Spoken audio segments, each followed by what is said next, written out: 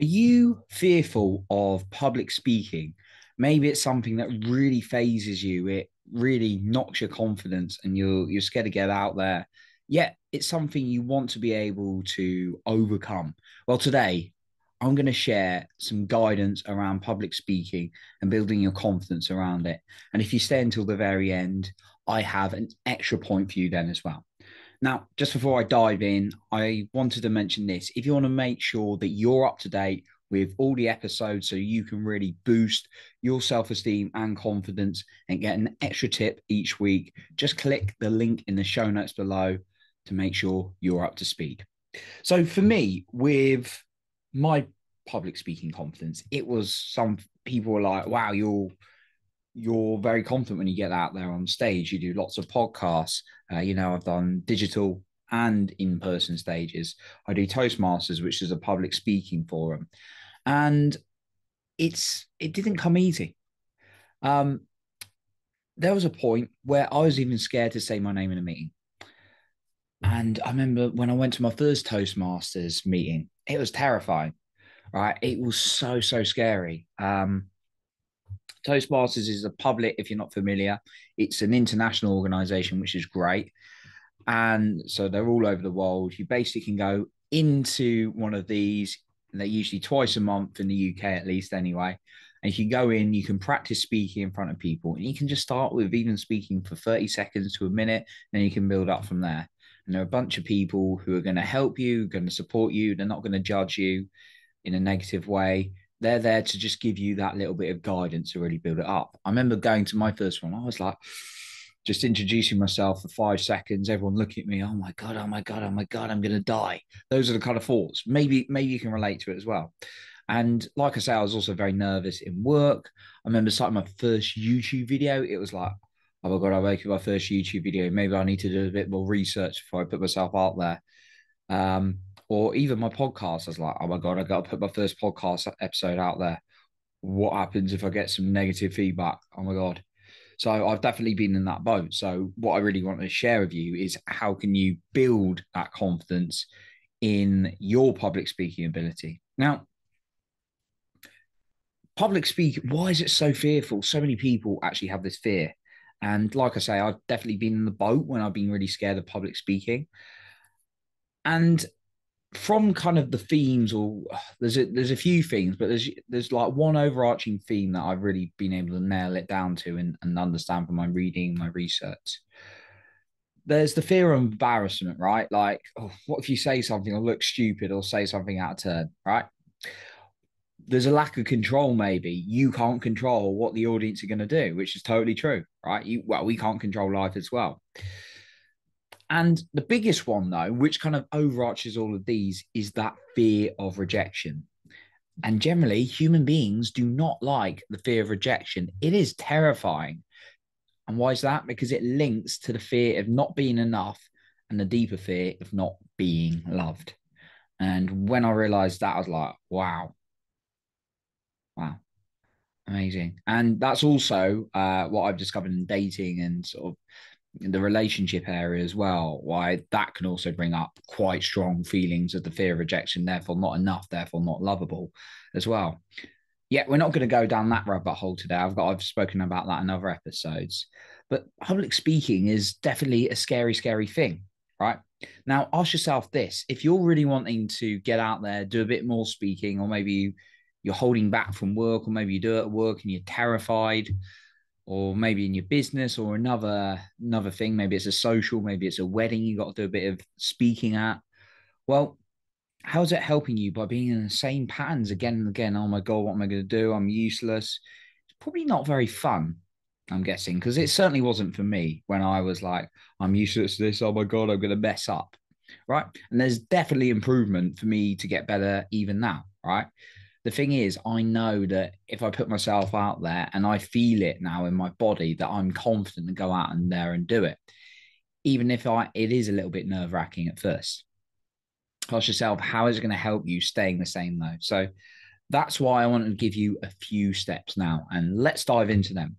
So the first one: prepare, practice, and praise. And what I mean by this is, it sounds so simple, yet I don't believe I, I, I don't believe people do it in the the way that I most effective in my opinion. It's like, oh, I got I got this speech. They may practice a little bit. Yet we don't praise ourselves for practicing. When we praise ourselves, it tells our nervous system that we're good and we can do more of it, right? Praise, praise, praise, practice, practice, practice. And when you're practicing, make sure you're saying it out loud. Saying something in your head is completely different to actually saying it out loud. The second one, know your audience, know who you're talking to. When you can understand who you're talking to, you're going to have a lot more confidence knowing what kind of content you need to present. The third one, start smaller. Don't go out there. Start with something like Toastmasters. You don't have to go out there and then present to the whole company, right? Now, obviously, there may be a, a situation where you're just forced into presenting in front of the majority of the company, okay? Um, but where possible, try and start small. Like what I used to do is just present to like a group of five or six people, and then it grew and grew and grew. Maybe even a couple of people to begin with, and get people to watch you. Practice with them. Going back to the practice point, practice with like a few people that are going to help you. Right, start smaller. Now, are you going to feel embarrassed? Of course you are to begin with. Yet the more you do it, the more you can tell yourself that it's safe, and therefore you're not going to get that fear of being unloved the more you do it because often our brain makes up these fears but when we actually go through these things it builds confidence it builds momentum and therefore confidence. The fourth point i want to share is visualize your success.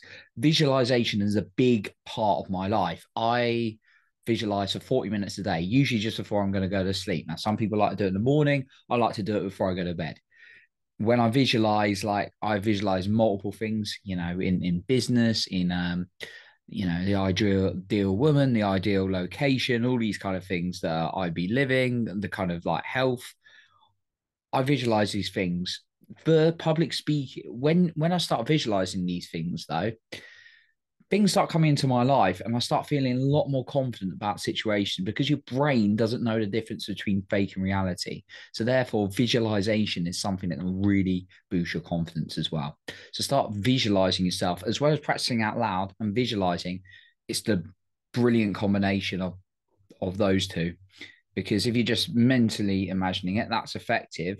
But also, if you're actually practicing, you've got those two things doing, and then obviously take opportunities to do it. But when you really see yourself, don't see yourself in the third person, see yourself in first person, like you're actually in your body, doing a great presentation and do it like every single day. Even just start off with five ten minutes visualizing yourself, maybe some music that relaxes you. Just try it for a week and then start visualizing yourself during a successful public speaking session and how great you feel. Don't just look at it like intellectually, actually feel into the body, feel like the excitement. Try and take that excitement from somewhere else in your life when you're really excited, you're really proud of yourself, and then start feeling that when you're visualizing. Give it a go, right? Don't just take my word for it. Actually, put some of this into practice. As with anything I say, right? You've got to go out and test it. You can't just listen to me and go, oh, that was great. It's actually about taking action. And then the fifth point don't be a perfectionist because they don't exist. There's no such thing as perfectionism. It's just something people make up. People are like, I've got to be perfect before I speak. I've got to be perfect before I start a business. I've got to be perfect before I go to the gym. All these kind of rubbish, right?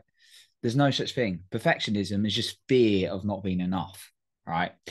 There's high standards that's a completely different thing. Perfectionism doesn't exist. So know you're going to mess up. Know there's going to be mistakes. The same with anything. Maybe there's a situation you can probably think of in your life where you were not great to begin with but you got better and better. If you're fortunate enough to walk in this life learning to walk you you know perfect. Learning to drive you weren't perfect. Maybe starting a career or a job you were not perfect when you started. You probably made a lot of mistakes or it took you a while to get to grips with things right? Yeah yes there are people who get to grips with things quicker than others and have a bit more natural talent. Yet when we begin we're nowhere near as good as we are like a few weeks or a few months down the line right? So just go out and take action. And like i say go back to the practice practice yourself practice with small groups maybe like once every week or every couple of weeks. Okay And I had those are my five points, and I also have an extra point for you that I'm going to mention in a minute. Now, just again uh, to mention, if you never want to miss an episode, make sure you join the newsletter list link below, where I'll be giving you a weekly insight into self confidence, self esteem, and mindset, and you'll be kept up to date with the episodes in that. So check out the show notes below and click that link. Okay, my bonus point for you today is identity statement. This is something that's really helped me in my life. An identity statement, often we have bad identities around it, or what's a good identity and what's a bad identity? I'd say a good identity is something that supports you and has that good psychology that allow you to move towards what you want. Bad psychology are the things that hold you back. Now, problem is most of us are saying bad things for ourselves, like, I am an idiot. I am useless. I'm not enough. I'm a terrible public speaker. Or I'm never going to be worthy to uh, find someone or attract someone, or I'm not worthy of the money. And actually, quite a lot of these are unconscious. Now, start creating a powerful identity statement. So, for example, say, I am a powerful, amazing public speaker. And the thing is, not to just say it, you've got to feel the emotion. And I like to say my identity statement after I do exercise because I've got those feel good endorphins pumping through my body, particularly when I've done a hard weight session or a hard interval session, because then the endorphins in my body are going. And then I start saying these identity statements to myself. Um, and that really, really starts ingraining it in it in my system and therefore i catch myself in a good way and constantly start doing things towards what where i want to go because i've got an identity. As tony robbins says human beings have a need to be consistent with our identity. So if you've got like an identity constantly saying i'm useless at public speaking i am the word is a very powerful s- statement. It creates an identity for you. Well if you keep saying that of course you are. Of course you're to like hold yourself back because you're telling yourself that. Now, start telling yourself the amazing things about you. And it's going to be hard to sink in at first. That's why it's really important to have movement, feeling, emotion. You got to feel it in your body. You got to like imagine you've got a great vibration through you. And I would suggest listening to some music, maybe moving about before this, getting yourself into a good state before you start saying an identity statement and say that 10 times yourself twice a day would be a great starting point as well. So take one of the, excuse me, take at least one of those points away, start putting it into action, you know, do it for at least a week and then start writing your results. What are you doing? How are you feeling about public speaking?